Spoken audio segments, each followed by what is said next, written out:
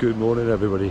So it is officially Saturday, one day before Ironman Wales, and I'm here at the beautiful North Beach. To be doing a swim with a few of the guys just to see how uh, the water feels. That's a bit of race anxiety, and uh, yeah, soak up the atmosphere. So, quick introduction for those who don't know. My name's Chris, I'm the coach and sports therapist and welcome to Recovery Lab. If you haven't already, hit that subscribe button, become a part of the community and follow along this journey, you know. More than happy and willing to help you with uh, with this journey and uh, so if you've got any questions if you've got any queries by all means ask away in the comment section for those doing Ironman Wales uh, please let me know in the comment section so I can add you to the tracker. And uh, yeah let me know how you're doing. Got a few guys on the beach. All having a, a little swim. Conditions in my opinion are looking awesome. Uh, there's a lot of kind of race anxiety floating around especially uh, with the weather and so on. And uh, trick is just to relax yourself as much as possible and not to stress out too much. So I'm going to be helping these guys and hopefully get them to chill out. But uh, yeah, hope you enjoy the video.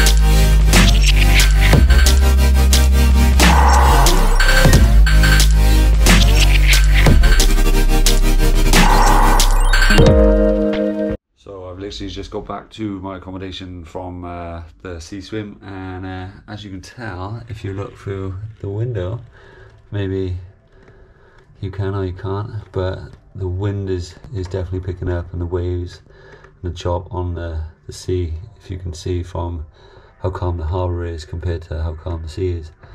Um, that's going to be a real deciding factor if you will. But um yeah, what I was telling my athletes um, was what from what I've uh, experienced in the last two years here is heading out towards the first buoy, heading towards basically this harbour wall, um, kind of just behind that building there, um, is where you're kind of swimming towards, and then the buoy is kind of roughly somewhere uh, in the gap between the buildings. Um, and then you turn and kind of swim over towards uh, that cliff face over there. Now, um, what I tend to experience is, and what I tend to see, is this kind of reverse kind of C curve, if you will, because the current is pushing you across the bay towards um, from out at sea towards uh, the harbour. Um, it tends to push uh, the swimmers in this kind of curve, if you will. I don't know if I'm doing all right. Yeah, this kind of curve shape. Um, and because it's a shorter distance, um, what I experienced in the last two years was it gets very congested around the, the first buoy, whereas on the previous way that they used to do it, when you swam kind of clockwise, if you will, as opposed to anti-clockwise, um, because it was 750 meters out to the first buoy, it was um, less congested around the around the buoy, whereas last year and the year before it was a bit crazy around the first buoy, uh, just because there were so many swimmers, especially last year because the tide was a little bit lower. Um, we ran for ages uh, before getting in the water, you know, and, and getting in swimmable water because it was quite shallow. Uh, that meant that there was like two and a half thousand swimmers on the buoy, um, which was a bit nuts and a bit overwhelming for some people. The moment you turn that first buoy, swimming across towards that cliff face, um, it is gonna be what I call um, like a conveyor belt, right? You're gonna feel like you're on a treadmill, uh, and you ain't really going anywhere. Now, um, what I tell my athletes is it's still the same distance you've been training for. So don't let it get in your head. Don't let it kind of panic you and so on. Now, obviously, because the waves are going to come from that way because it's an easterly wind. Um, you're going to be swimming into the waves, so it's going to feel like you're skimming across like a, a kind of jet ski or a boat where you're kind of hitting the crest of the waves and so on. So it's going to feel like you're falling from the wave all the time, and then there's another wave straight in, into your face. This can be intimidating, but um, knowing that, knowing that like it's just a harder section, and in regards to time, you'll make the time up after you've come come around the third buoy and you're heading back towards the big rock, and kind of back towards that swim exit. That is going to be incredibly fast because the tide is pushing you that way. So just know that whatever time it takes to get from buoy one to two, from three to kind of the exit, you're kind of really going to make uh, up that time. It's kind of like climbing hills on the bike section, you know, it's going to take you time to get up the hill, but you're going to descend quite quickly. So don't necessarily panic about that kind of middle section because that's, for me, it's the initial panic from the kind of beach to the first buoy that kind of overwhelms people because they've let anxiety get the better of them. Uh, from buoy two to three, start feeling that I'm not going anywhere, that I'm in deep water, and it's that kind of typical anxiety of kind of open water swimming and um, yeah, just breathe, relax. What I tend to do, and even to this, this day, is I will count my strokes. I'll literally go one, two, breathe, one, like literally put my very best therapeutic voice on, and I will try my best to relax as much as possible. So what I would do is recommend the same. Give your brain a job to do because quite often when you're anxious, you're overthinking, and then you're thinking about everything else. You know, self um, self talk and self mastery is is an incredible, powerful tool. And the more you can relax yourself and talk to yourself as you're swimming, the more you can kind of calm yourself down and uh, be in the moment. You know, um, don't let the anxiety of others over this weekend kind of build up and stress you out before you've even got in the water. On the beach, do do your warm up I tend to, I'm the person that swings their arms round, tends to kind of squat down deep, open up my hips, you know, swing my legs round, you know, wake myself up, hop on the spot, um, gets my heart rate up, gets my mind in, in the zone, and gets my body feeling a little bit warmer. So, do what you need to on the beach, you know, relax yourself. And if, if you do have a moment, just know that it's a moment. Have a big deep breath, relax yourself, and then just focus on swimming to the buoy.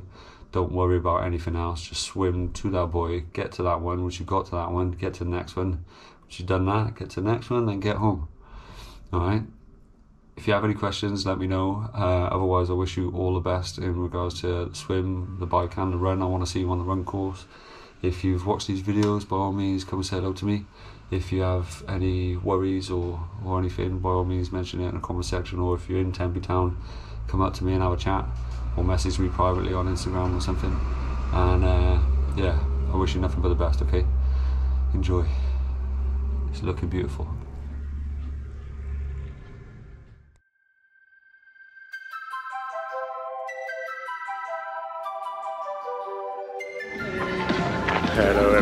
So I am officially in transition. I've wrapped my boy, 1370. For those who want to track, I am on J. Um, so in recent years they've uh, started doing um, letters of the alphabet all the way up and um, make it a little bit easier because people panic.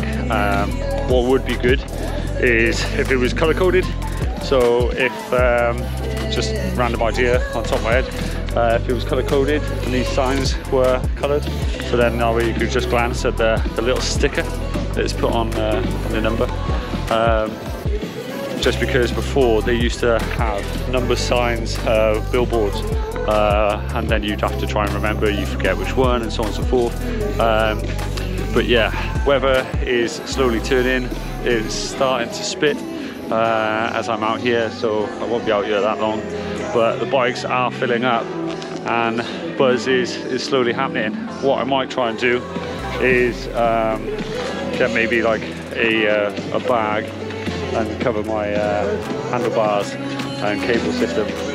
Um, just because I want to try and keep uh, the electrics of the bike uh, as kind of dry as possible, if you will. But um, yeah, sometimes they're funny about that type of stuff and they tend to take the bags off and everything. But this this guy has uh, taped taped all the gels on on his bike with uh, masking tape, as you can see, just just there.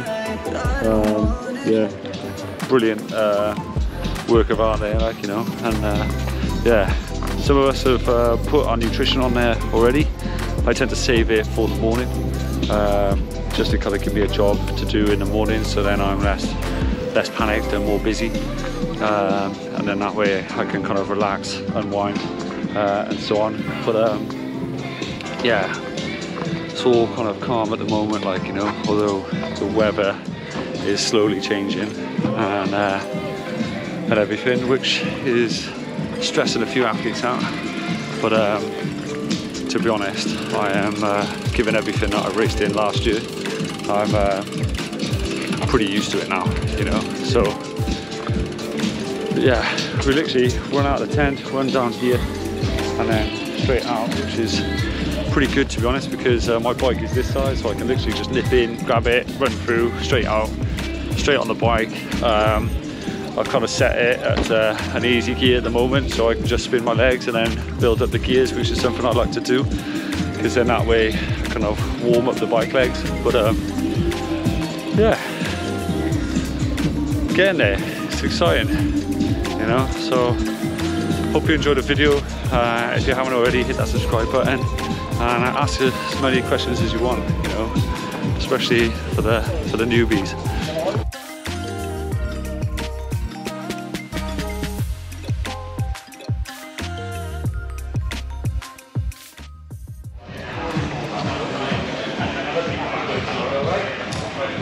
So uh, the bags are literally right on the end.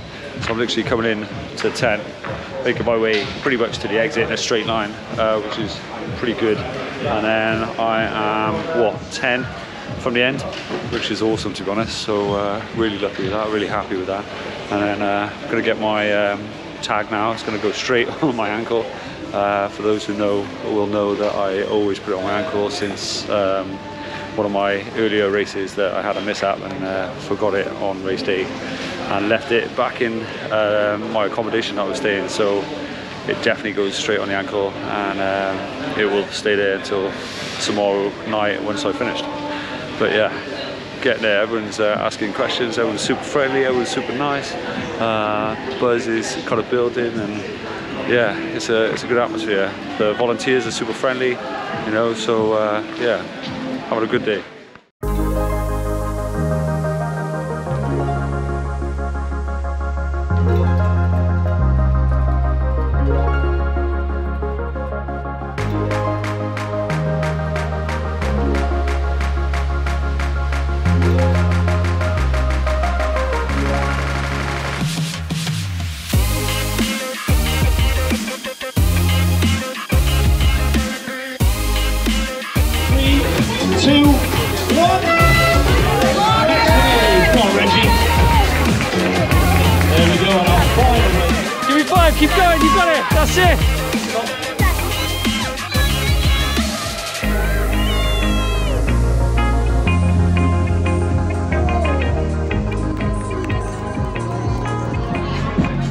So my daughter Layla has just finished her race. She's part of the Blues. Super, super nervous, uh, super anxious at the start. Uh, however, she's she's finished and uh, she's gonna be over the moon, I imagine. So super proud of her, super happy that she's finished. And uh, yeah, man, this is what it's all about. Like, so bring the kids in, get them to enjoy it, overcome that fear, and uh, yeah, go through all the motions that uh, we as adults go through. Let's go around Dolly's. So, yeah. So, how are you feeling? Good. Yeah? Fastest athlete in the family so far. How are you? I think you ran faster than I am tomorrow. so, just proved you did it. You got to remember that now. Ready for the next time. Okay?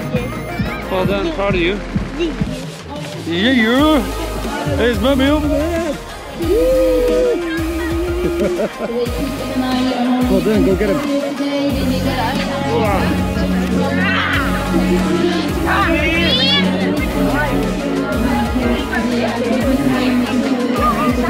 Three,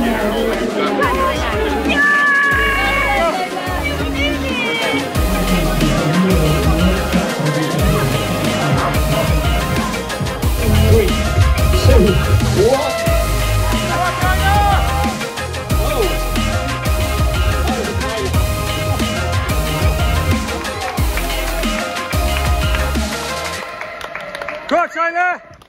That's it, light work, buddy. Come on, Tyler. You got this, mate. You can keep going. Keep it up. Head up. Big deep breath all right? You got it. That's it, mate. You got it. That's it. Breathe through it. Go on, buddy.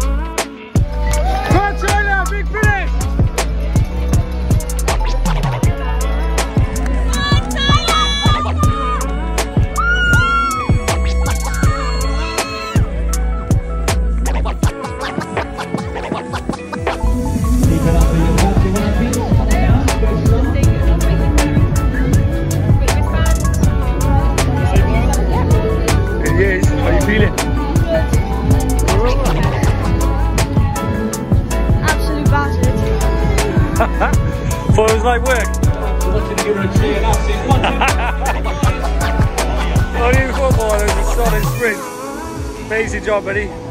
Proud of you, man. Dug deep. Dug deep, you did good. A Couple, couple of big pushes, you know. Show us your medal. Give us a big smile. There he is. One minute, 20 seconds. Our team is ready. Four, three, Go on me. one.